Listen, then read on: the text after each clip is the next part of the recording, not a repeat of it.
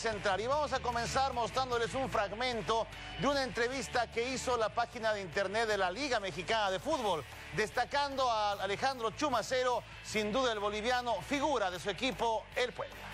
Pues me decidí por Puebla por, por, otros objetivos, porque me habían tratado también bien y me hablaron desde el principio eh, de la mejor manera, me hicieron sentir eh, muy bien, así que y bueno, tú sabes que las decisiones son difíciles a veces, pero hay que tomar una y me elegí por Puebla. Y sabía dónde tenía que elegir, iba a entregarme con todo, porque este es mi trabajo, es lo que me gusta hacer. Yo la verdad eh, trato de imitar Iniesta o Xavi.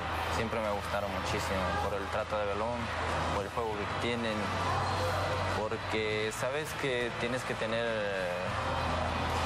como Iniesta, tiene que tener el balón cerca del pie tal vez lejano del pie, tú sabes que va a perder siempre porque su contexto físico es como el de nosotros, ¿no?